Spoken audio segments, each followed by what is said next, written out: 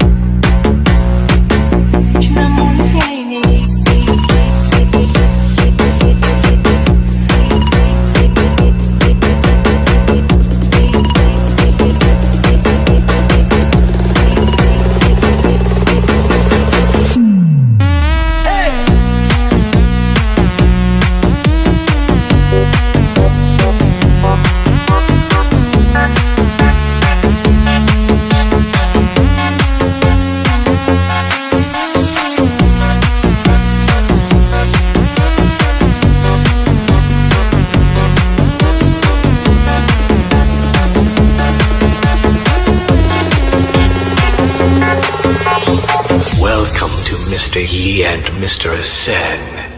ឆ្នាំមុនថ្ងៃនេះពេលនេះមកនេះអូននៅទីនេះនៅក្បែររៀមរាហេតុអ្វីឆ្នាំនេះបានចាំបាច់ការស្ងាត់សូនឆឹងតើអូននៅនោះតែគួរអូនទេបើសិនអូនលើឆ្លើយប្រាប់បងផងយើង